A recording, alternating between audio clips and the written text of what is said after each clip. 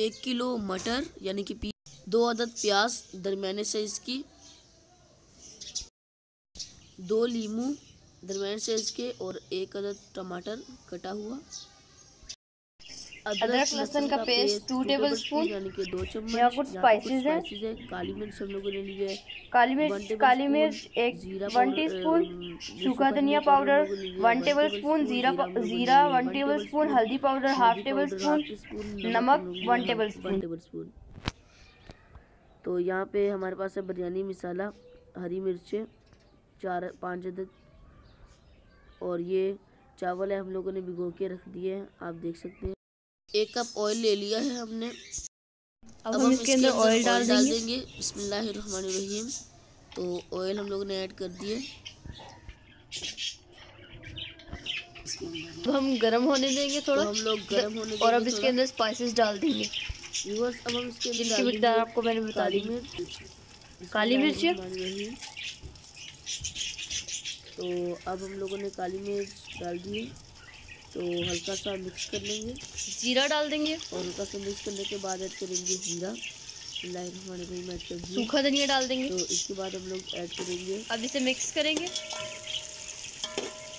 तो अब हम प्याज और मसालों को डार्क ब्राउन कर लेंगे। सूखा धनिया पाउडर तो हम लोगों ने ऐड कर लिया मिक्स कर लेंगे। और ब्राउन होने तक इंतज़ार करेंगे। सो व्यूअर्स अब हम लोग पानी का छिड़काव करेंगे अपने हिसाब से। तो छिड़काव हम लोगों ने कर लिया है। अब ढककर थोड़ी देर तक पकाएँगे।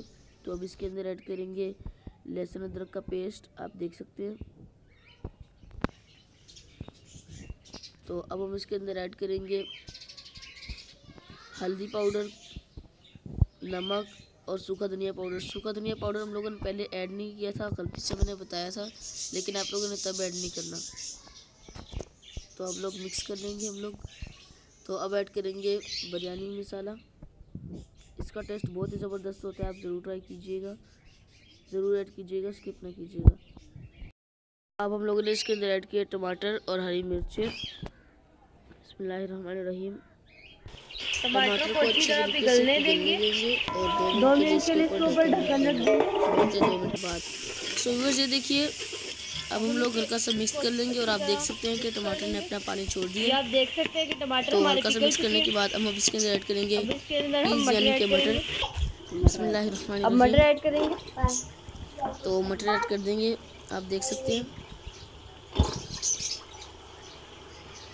ये बहुत ही मज़े की बनती है ये रेसिपी आप ज़रूर ट्राई कीजिएगा। सोवर्स ऐड करने के बाद अब हम लोग बिस्मिल्लाहिर्रहमानिर्रहीम अच्छे तरीके से मिक्स कर लेंगे। और मिक्स करने के बाद आप देख सकते हैं इस तरीके से हम लोग मिक्स करेंगे और मिक्स करने के बाद पाँच मिनट तक ढक्कन रख के अच्छे तरीके से भुनेंगे। तो चलिए मिलते हैं आपसे पाँच मिनट बाद। सो so, व्यूअर्स अब हम इसके अंदर पानी डाल देंगे। बिस्मिल्लाहिर्रहमानिर्रहीम डेढ़ किलो पानी हम लोगों ने डाल है। सो व्यूअर्स अब आप अपने जायके के मुताबिक इसके अंदर नमक ऐड कर सकते हैं। तो हसब जायका आप लोगों ने नमक ऐड करना है तो हम लोग ज़रा नमक तेज़ यूज़ करते हैं, इसलिए हम इसके अंदर थोड़ा सा और नमक ऐड करेंगे। तो बिस्मिल्लाहिर्रहमानिर्रहीम, नमक ऐड कर लेंगे। इसको ढक देंगे, ढक के रख देंगे और उबाल आने का इंतज़ार करेंगे। अब हम इसके अंदर ऐड करेंगे चावल। बिस्मिल्लाहिर्रहमानिर्रहीम। तो पानी अच्छे तरीके से निकाल के, अच्छे तरीके से निचोड़ करके।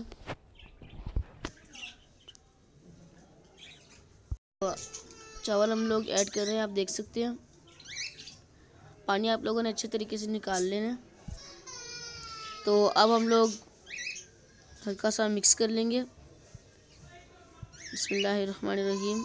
तो आप लोगों ने भी इसी तरीके से मिक्स करना है। व्यूवर्स अब हम लोग ज़रदा रंग बनाएँगे तो इसलिए थोड़ा सा पानी लेंगे और इसके अंदर ज़रदा रंग ऐड कर देंगे।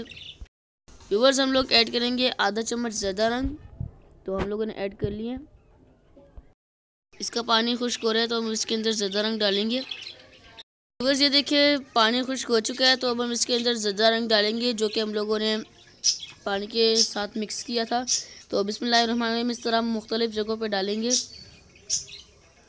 तो अब इसको 10 मिनट के लिए दम लगा देंगे। तो मिलते हैं 10 मिनट बाद।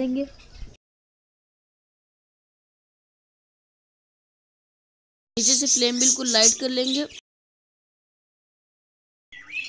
सो so, व्यूअर्स दस मिनट हो चुके हैं। अब हम ढक्कन हटालेंगे बिस्मिल्लाहिर्रहमानिर्रहीम।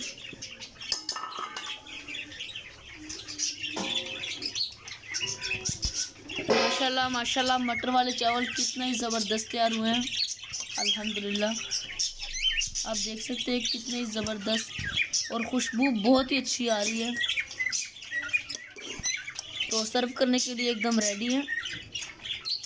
अब हम किसी भी प्लेट में निकाल लेंगे।